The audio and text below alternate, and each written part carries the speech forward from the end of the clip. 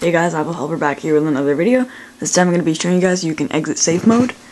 Now if you've downloaded something in Cydia, and it just basically resprings your device automatically, and this pops up, it's asking you to restart, then all you have to do is go into Cydia and uninstall the thing that you've um, previously installed.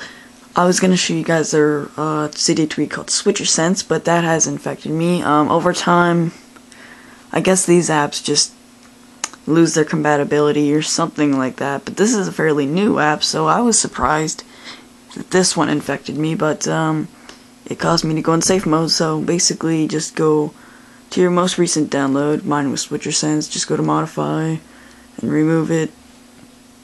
Hit confirm.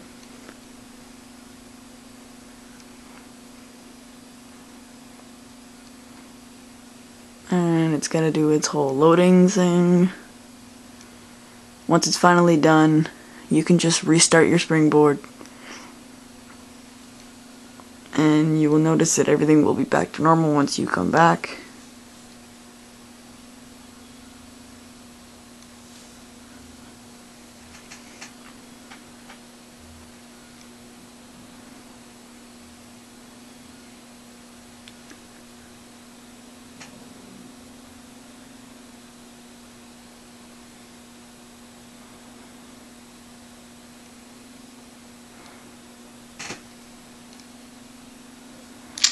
Okay, so now we're all back to normal, barrel's back, everything looks just about the way it did before.